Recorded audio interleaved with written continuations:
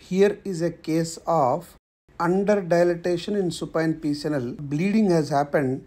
Now, how to manage is the video. Junior was doing, he has done RGP, very easy appearing for puncture. Nicely he punctured. And uh, when the guide wire is passed, I thought he will do the case. I was watching the guide wire is in place and uh, guide wire has gone into ureter, guide wire has gone into the upper. See the dilatation. It is reasonably okay. But somehow, if the guide wire is too much coiled, it's not a good case. See like this, then it will not give clue. And this guide wire you should not trace. That is a mistake he is doing. If the guide wire goes into the ureter, you can trace it if it is coiled multiple times, you should not trace. And there is no point spending time when the stone is not seen at all. This is all extracapsular extension. So immediately Amplatz sheath removed, middle calyx puncture is done.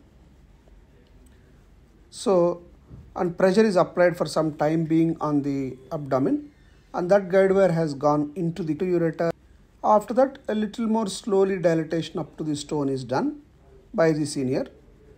And then now completely there is no damage to the mucosa. Nicely seen. Previous dilatation is under dilatation. There is nothing wrong. But under dilatation, manipulation over the coiled guide wire to enter the kidney is futile attempt and it is dangerous. During that process, any parenchymal bleeder happens major, it may bleed and patient may go into hypotension.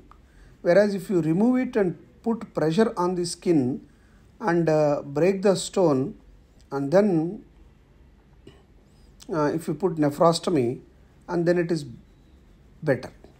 So ultimately if the guide wire enters into ureter it is better. If the guide wire coils into the pelvis is okay but if the guide wire is coiling in the calyx irregularly if under dilatation happens don't trace the guide wire and try to see the stone. It is not easy. Thank you.